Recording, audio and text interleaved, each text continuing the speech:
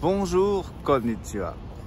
フランス語の漢詞全部紹介するビデオの第4となっています。1は1と1不定冠詞の単数ですね。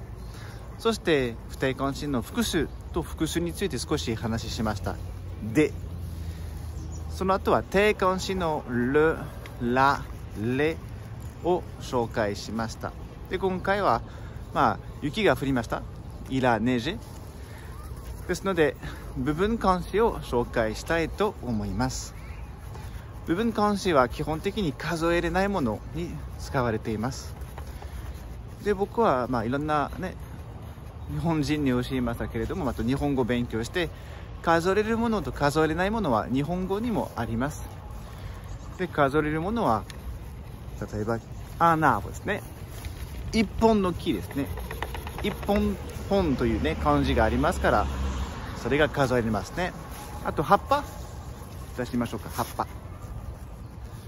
une あ deux あ1枚ですね。une feuille 枚という漢字はやっぱり数えれますね。そういうのがなければ数えれないと思ってください。しかし水はですね水は水一杯。それは水数えるんではなくてコップ。器のことを数えてるんですね。1杯2杯とかですね。でも水自体は数えれないとなっています。いいですね。ですから雪は基本的に数えれないですね。雪一つとか言わないと思います。ですので少し雪見ましょう。お雪後ろに雪がありますね。de la neige de la neige 女性名詞だったら数えれないものは de la いいですね。de la neige。じゃ木はですね。アナーブは一本の木だけど、まあ切ってたら、切ったりですね、これが。まあ、枝だけど、木としてたら、de la ボと言ってもいいですね。母音から始まりますから、de la ボとなっています。un arbre, de la ボ。先ほど、de la ボと言いましたけれども、木材は bois。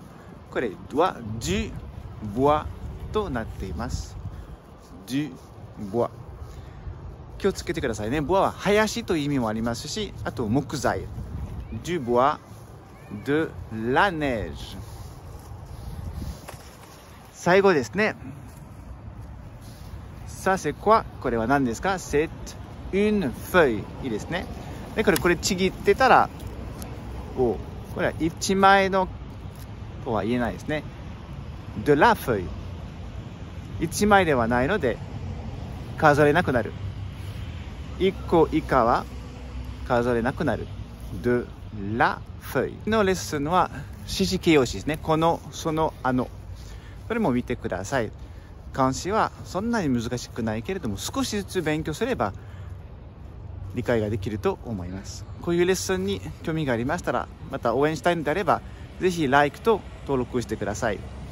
応援しないと非常に寂しいですから。それでは、オーバー。